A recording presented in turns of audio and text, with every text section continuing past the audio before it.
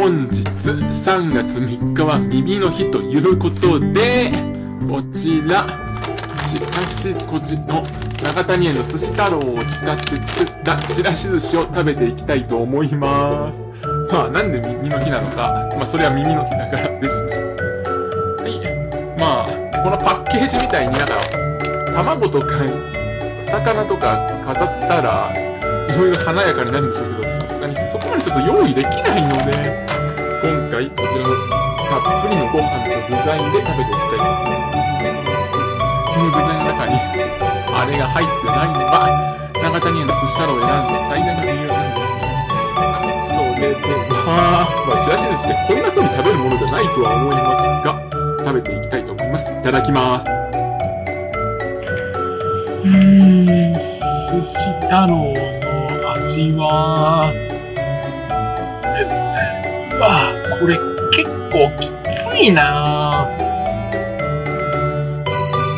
まあ自分は食べられなくもないですけど、分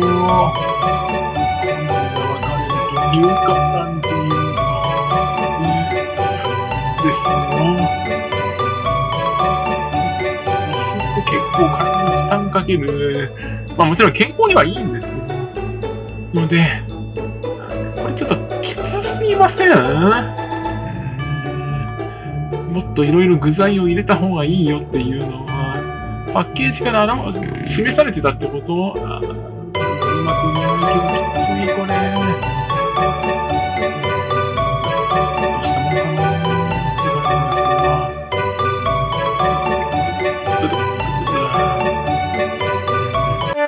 ま、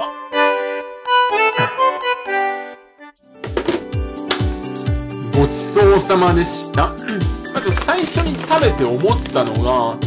酢の味が結構きついですね、この寿司太郎。なんか、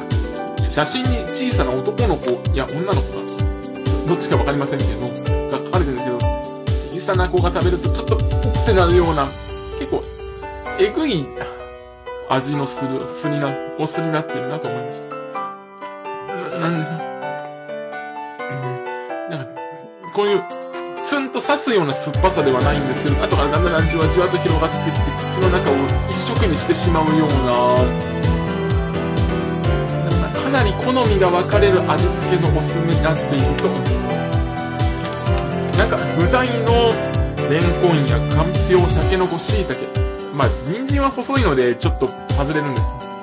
残り4つについては食感をきっちり噛むごとに感じることができて美味しかったんですが、やはりこの酢の味が好みかダメかでか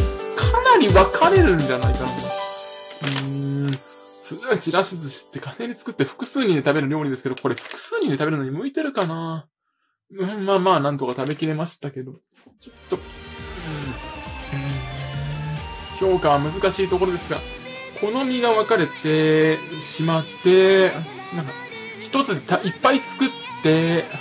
いろん、一度にいろん、大人数で食べる料理として考えると、ちょっと微妙な線かなと思うので、今回食べた長谷園の寿司太郎は、3点とさせていただきます。まあ、好きな人は好きなんだろうけどなはい、というわけで、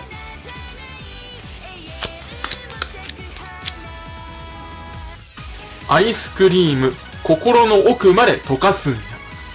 まあ確かにアイスで幸せになれれば溶けるかもしれませんね。という、はい。本日は長谷園の寿司太郎を食べてみた動画でしたが、あなたは気になりましたか？もし気になって買ってみたいと思ったので、もらえたのであれば、高評価とチャンネル登録をしていただけると、さらには他の動画を見ていただけると嬉しいです。では、演舞、終演。